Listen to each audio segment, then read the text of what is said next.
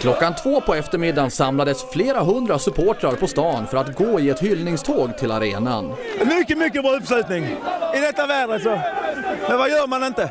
Nej, vad gör man inte? Rögle är i elitserien igen, värt att fira. Det är helt magiskt. Det, är, jag vet, det finns inga ord. Bättre. Bästa som kunde hända.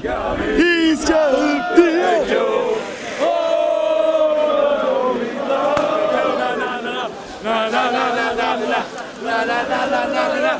Uträknade i höstas och nu är de tillbaka. Dan Tange säger vi bara. Nu ska vi till elitserien Rögle.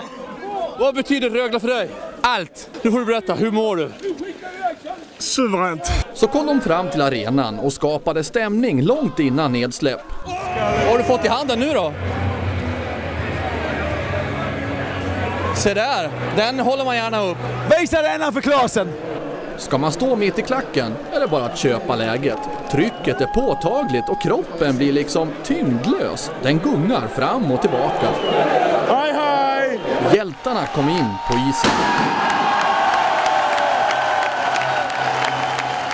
Matchen var på förhand betydelselös och väl igång ointressant och avslagen. Såklart, men Rögle-mål har alltid sitt värde. Dennis Everberg kvitterade. Djurgården vann sen med 2-1. Efteråt väntade det stora firandet på isen. Mm. Nej, det är ofattbart. Vi är Tangnes vita och gröna hjältar. Ja, det är fantastiskt.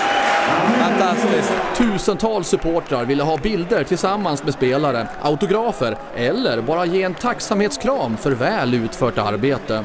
Hur väl står sig Rögles fans? Rögles fans, ja de är, nog, de är topp i elitserien i Sverige, i Europa tror jag. Det är helt fantastiskt. Det är en hel, hel region bakom sig, så jävla roligt.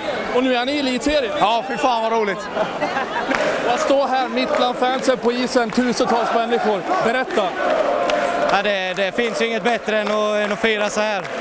Eh, nästa år får vi väl fira en eh, SM-medalj också förhoppningsvis. Kenny har vi fått, vad fick han? Här? Jag har också Kenny här. Och sen... Eh, Eh, Hampus Ja. Lindholm. ja, någonstans. ja. Men ni vet att de här går ju bort sen. Nej, nej. Vi ska inte... Inte duscha! det är grejen. Aldrig mer dusch! Nej, nej, nej. Du vad, det var faktiskt att vi inte skulle duscha på en vecka. Fast jag tror inte jag vill hålla det längre. Ja, vad säger man? Det, är- alltså det, är- det är samma som i, som i tisdags. Det var ren skär glädje alltså. Det, sen att få dela det med så mycket folk, det, det är helt fantastiskt.